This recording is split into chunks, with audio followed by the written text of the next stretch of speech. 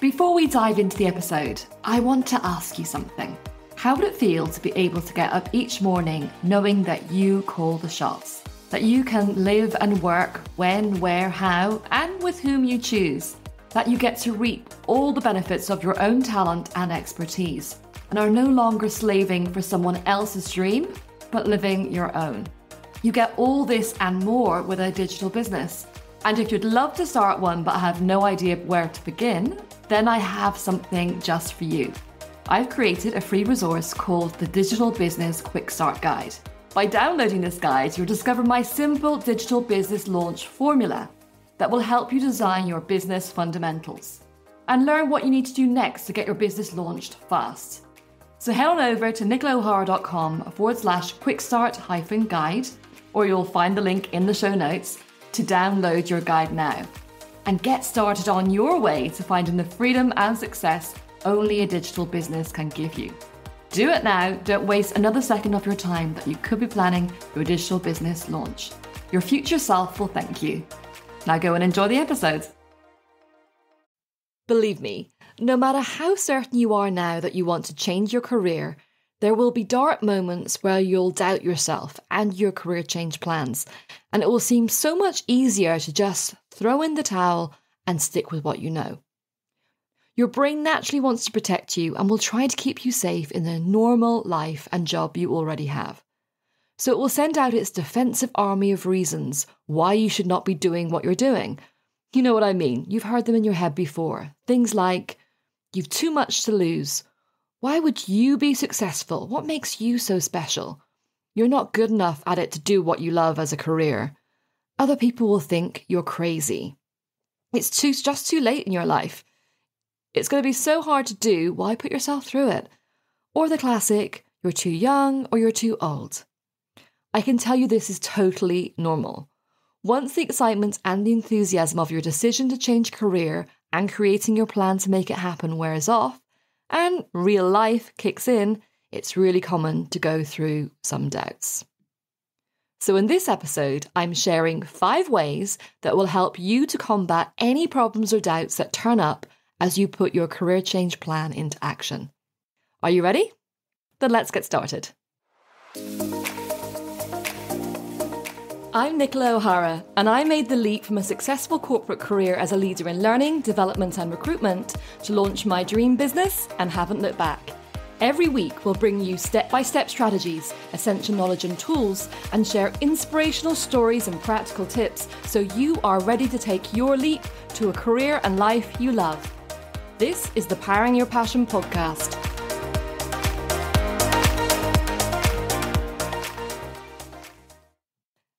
And welcome to episode 43. Now, I talk a lot on this podcast about uncovering your passion and purpose that will bring you the career and life you want, and also how you can create a strategy and plan to make it happen. But then you need to act on that plan, usually alongside the job you already have. And depending on how long you've given yourself, it could be six weeks, six months, or even six years before you actually escape your corporate job and make your dream career happen. And I'm not going to lie to you, you won't be full of drive, optimism, and excitement all that time. Think about if you're going to go on a long trek over a hilly terrain. In the start, you're excited, full of energy and buoyed up with enthusiasm for the journey ahead. But then halfway through, as you begin to tire, the road ahead is hilly and twisting. It maybe it gets cold.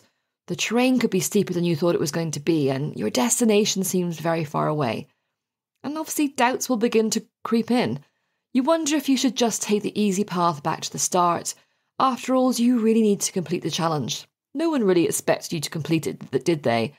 And it would be safer and easier just to go back, wouldn't it? So, what would you do ahead of that trek? You make sure you have the support, equipment, and tools to get you through it. You'll have energy bars and drinks for when you're tired. You make sure to make the trip with other people so you can motivate and support each other. You'll bring extra warm clothes for when it's cold and tools to help you climb out of the steep bits. You get what I'm saying. You make sure that before you set out, you're prepared for every eventuality. And it's the same when you're setting out on your career change journey, you need to prepare and tool up in advance. So you can face anything that comes your way. So, here are my five tips to keep you motivated, energized, and on track while you work towards your dream career and life. First up is the one thing I wish I had done earlier when I was changing career, and that is find your tribe. I thought I could go alone, but you really need people around you that will be your cheerleaders and help you celebrate when you reach your milestones, and also give you advice, support, and motivation when you're doubting yourself and your plans. So find and surround yourself with people who are on the same career change journey so they can empathize with you where you're at, or people who are ahead of you on the same journey and that can mentor you and share their experiences. You also need to have people to learn from, like thought leaders or influencers who know more about than you about how to change career and make it a success. And finally, a great option is to have a career coach. I wish I had found one sooner, as having that person to hold you accountable and help you deal with all the mindset issues you can face is really game changing. But if you can't afford or don't want to invest in a one to one coach, then look for group coaching opportunities where the cost is split between a few people who are going to be coached. Or join a paid membership, which is lower costs, but you'll be connected with people in a similar stage to you, and you'll get tools and techniques on how to keep motivated and take action. And tools and techniques on how to keep motivated and take action will be shared with you, a more DIY option, as it were. I really can't oversell this point. Having the right people around you is essential. Your friends and family well, may well be really supportive, but they don't know what it's like to do what you're doing, so it can feel quite lonely trying to make the leap alone. If you want more ideas on how to find people that can support you, then check out episode 14 Find Your Tribe that will motivate and inspire you to career success after finishing this episode. Okay, next up is talk to people about your plans. There's no point in having a plan to change careers if you don't tell anybody about it. I know you may be nervous it won't happen or it'll be delayed and then you'll be embarrassed in front of your friends and family. But you have to make this real. If it's something that people know about, it makes you accountable. You know that people will be expecting for things to change, for you to move forward with your plans. So it's a whole lot harder to let them slip or to decide not to go ahead because of fear, doubt, or just having so much to do. So, what if it doesn't happen exactly as you plan and you have to backtrack a bit? I know what it's like not achieving what you say you were going to. I've been talking and talking about wanting to leave the corporate world for a good 10 years before I actually did. I told everyone that one day I'd leave and start my own business, that I just needed a few more years in, in the day job in corporate. It was only when I had a few life changing moments that happened that I actually made a plan and made my career change happen. When I told my friends I was finally leaving, I'm sure they thought it was another incident of Nick crying wolf, saying that she would leave and not actually doing it. But who cares? I did it and it was on my own terms when the time was right for me. But did knowing that other people expected me to go out my own one day help motivate me? Yes, absolutely it did. It kept that promise to myself to the very front of my mind, and it was never ever a question if I would do it, it was just when. So tell your friends and family about your plans, not in a I may do this one day way, but I'm doing this. I'm doing this in six months or 12 months or five years or whatever your timeline is that you've decided on. If you're confident and clear about what you want to do, they will support you. And even if they don't, you'll know that it's going to happen. It's really inspiring and momentous to set your intentions verbally. By speaking about them, you are sending a message out into the world that it will happen. I truly believe that by saying something will happen, you're sending out a positive energy vibe that will manifest a positive response. Obviously, you can't just do that and then sit back and do nothing and expect to get a sudden new career offer. But words have power, and by stating what you want to achieve out loud gives it extra force and strength. There is research that says that by setting out your intentions verbally or in writing, you are 42% more likely to follow through and achieve them. A pretty good result, right? So don't be shy, go out there and tell your friends and family what you want to do. Don't keep it a secret. Okay, next up is to celebrate your achievements. So I'm talking about celebrating your small achievements along the way, as well as the larger things that you, you larger goals that you hit. If you've created a project plan to help you make your escape to a new career happen, you'll have set milestones or mini goals in that plan. So celebrate when you reach them. This is where your supporting tribe will come in, as they will really get why you're so excited to have reached a small goal and will want to celebrate with you. So when you've completed that course you needed to take, or you've saved the amount of money you need to make your escape possible, or you've written your new CV, or you've joined a new Facebook group of career changers, make it a big deal. You're closer than ever before to loving what you do every day, to having more time with your family, or to making a difference in the world. Whatever your goal is, you're closer to it. So buy yourself a little gift. Have a glass of champagne with your friends, or just give yourself a well earned day off. Whatever makes you feel like a winner, go for it. Number three, keep reminding yourself why you want to change career. This one is so important. You need to keep reminders of why you're making this change in front of your face every day. You'll have lots of reasons of why you want to move on to a new career. That could be because you want fulfillment that comes with working with your passion, or maybe you want to have a job that allows you to spend more time with your family, or perhaps you want a whole lifestyle change and a new career will help facilitate that. When you make the decision to go for this new career and the life that it brings you, you'll have all the reasons spinning in your mind. They give you the motivation and the strength to do the work to make the escape happen. But like anything, if you don't remind yourself of what you're aiming for and why on a regular basis, those reasons can fade in your mind and the more pragmatic daily concerns can take over. And you start thinking, mm, maybe it wasn't such a good idea. So you need to find ways to keep reminding yourself what it's all for, why you're taking the time on top of your job to find your route away from your current path and to a new future. So set your phone screensaver with something to motivate you. It can be words like maybe your next goal, or pictures like a place you want to live or something you want to get if you have lifestyle financial goals. Or it could be a photo of a business card with your what your titles will be in your new career. So for me, I would have put Nichola O'Hara, entrepreneur or podcaster or business owner, or maybe all three. Or it simply could be a photo of your family if your aim is to spend more time with them. Whatever will motivate you, make sure that you're reminded every time you pick up your phone. And if you don't want colleagues to see, then maybe you can be a little bit more subtle, but do make it meaningful. Another thing you can do is to set reminders for yourself. These can be for your bigger goals. So, for example, when you want to have handed in your notice by, or smaller milestones like when you set yourself up as a sole trader or when you finish the course that will allow you to start applying for roles in your new career specialism. You can also set reminders for those blocks of time in your week when you've committed to work on your career change project. Now, I always recommend using a project management management system for your career change project because you can set up reminders in this and assign goals for yourself and keep track of all your career change just like you would any project you work on in the corporate world. I personally use Asana, but there are a lot of systems out there, so Google it, check out, and see if you can find one that suits you. The next one people can get a bit uncomfortable with because it seems a bit fluffy. But there is evidence to suggest that visual reminders are very effective in helping you achieve success.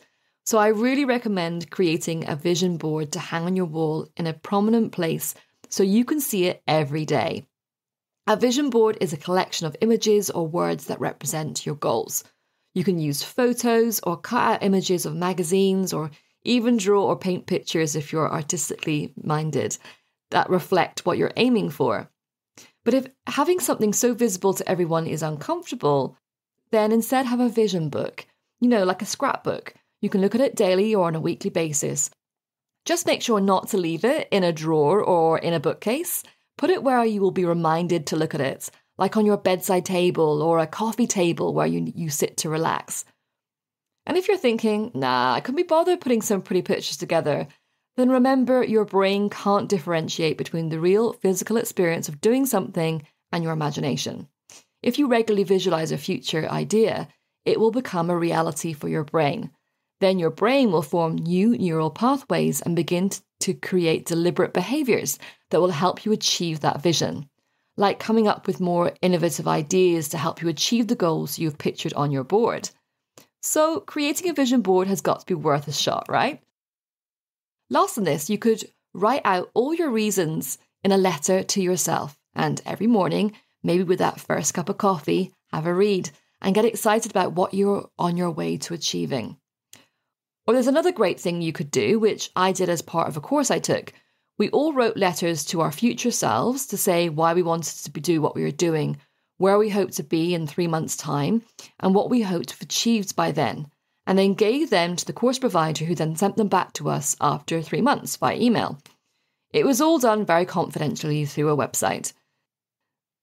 There's something so powerful and honestly a little bit emotional in reading in your own words what you want for yourself, your hopes and dreams for the future, a future you're already in when you read them. So give it a try. You don't need the fancy software, just put all you want to say in an email and send it on delay to yourself for one or two months' time. That email could be a great thing to receive when you most need it. Finally, keep focused on one goal at a time and be patient. When you want something so much, it's natural to feel impatient and want it to happen right now. So, when you're planning and working towards your career change, it can be frustrating not to be there already.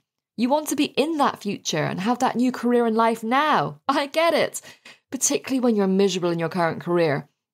But even if you're okay with what you're doing now, it can be tempting to always want to be at the finish line when you've only just got off the starting blocks. Just remember that everything you're doing is leading up to that end goal, even if it doesn't feel like it yet. Everything you learn, every system you get to grips with, every step you take towards your goal is all building towards that new life that you want. Creating positive and useful habits are so important in keeping you focused and able to actually find the time to work on your career change project. James Clear, in his book Atomic Habits, talks about how habits are the compound interest of self improvement. He explains this by saying, the same way that money multiplies through compound interest, the effects of your habits multiply as you repeat them. They seem to make little difference on any given day, and yet the, the impact that they deliver over months and years can be enormous. It's only when looking back two, five, or perhaps even 10 years later that the value of good habits and the cost of bad ones becomes strikingly apparent. So, if you focus on creating habits that will allow you to have the time to work towards your career move, you'll see the results in time.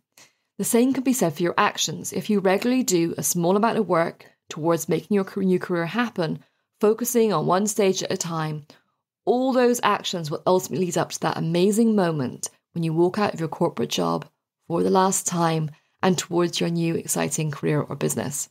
And when you're finally at the finish line, I promise you, it would all happen really quite quickly. It's like the story of the um, stone cutter who hit a stone a hundred times and then on the 101st time it finally split.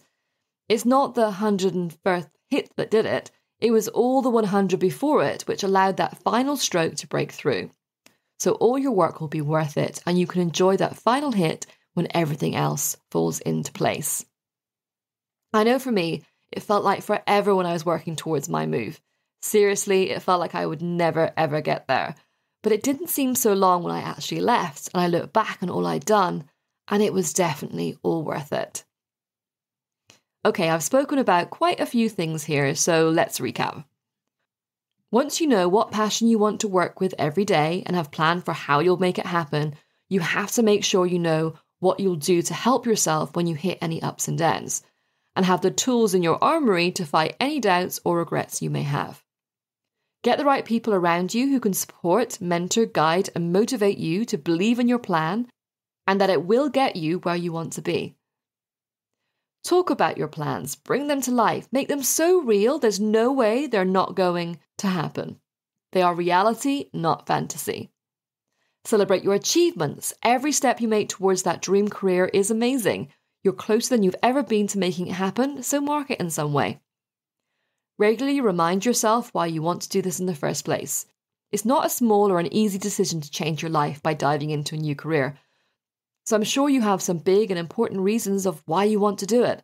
So don't let them get ignored or swept aside because you get uneasy. Keep images of what you want close, write them down so you can look at them every day, and set reminders to keep you on track. And finally, keep focused and be patient. You will get there, but take it step by step and create habits that will help you. The bottom line is changing career is 100% possible. whatever your age or wherever you are in your career. But even if you have a passion you are dying to turn into a career and you have a clear purpose and plan, it will still take some, take some time to reach that moment when you can resign and move on. So you have to prepare to celebrate your mini successes and know how to get yourself out of any low points. The difference between a successful career changer and one that never makes it is their ability to deal with the time between deciding what they want to change and actually taking the leap. The successful career changer is resilient, is positive, they believe in what they want to do and also understand that they will have down days. How they react to those times when it all sounds like a bad idea really makes the difference. I've heard a lot of people say they want to change career to make more of their lives, to work with something more meaningful and where they're truly sharing their gifts with the world. Particularly after the pandemic, when we all put a magnifying glass up to our lives and many people realised they were not happy and wanted more. But most of those people will not make the change. They won't have the confidence, self belief, or drive to make it happen. So, who will you be? Will you be the dreamer who always talks about wanting to do something different but never goes for it? Or will you be the one who turns their dreams into reality, who is ready to do whatever it takes to make it happen. I think if you're listening to this podcast, you've already made the first step and are ready to go for it. Okay, that's it for this episode. Before you go, let me ask you a teeny favour. I really want as many people as possible who want to make their passion into a career to hear this podcast. So if you have enjoyed this episode and know anyone you think it would benefit to listen to it, then please send them the link I put in the episode description, which you'll find wherever you're listening to this podcast. Remember, you deserve to live your passion, so go for it. This is your time. Thank you so much for listening. And if you'd like to listen to more episodes, follow or subscribe to this podcast on Apple Podcasts, Spotify, Amazon, Google, or Stitcher, or go to my website, nicholaohara.com forward slash podcast.